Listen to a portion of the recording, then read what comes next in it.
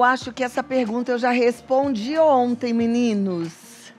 Essa já foi. Klaus, sou recém-formada em enfermagem, não tenho encontrado emprego.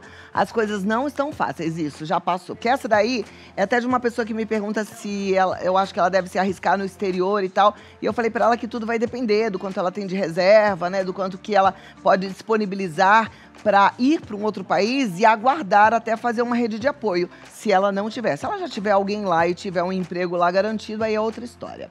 Mas agora vamos lá. Anônima, meu marido está doente, está acamado, estou cuidando dele, mas estou muito cansada. Tenho mais de 60 anos e minha vida hoje em dia se resume a cuidar dele. Estou exausta dessa situação. O que fazer? Minha amiga, eu tenho pensado muito nisso, mas eu confesso que eu não pensei na relação marido e mulher. Mas eu sempre penso assim: se fosse com a gente se fosse com você, o que você esperaria que o seu marido fizesse? Eu acho que você esperaria que ele cuidasse de você, né?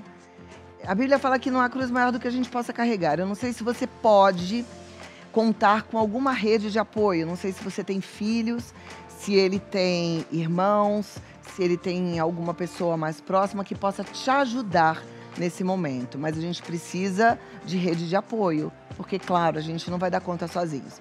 Eu disse que eu tenho pensado muito nisso, porque eu tenho pensado muito nesse cuidado dos filhos com os pais. E estava pensando outro dia, puxa, a gente tem filhos no auge normalmente da nossa carreira profissional, na flor da idade, na juventude, com mil coisas, mil sonhos, mil vontades. E a gente dá uma boa freada na vida da gente para cuidar dos filhos, né? E aí, quando os pais ficam velhinhos, eu vejo muitos filhos sem disponibilidade, sem tempo e sem vontade de cuidar dos pais, que seria a ordem natural da vida.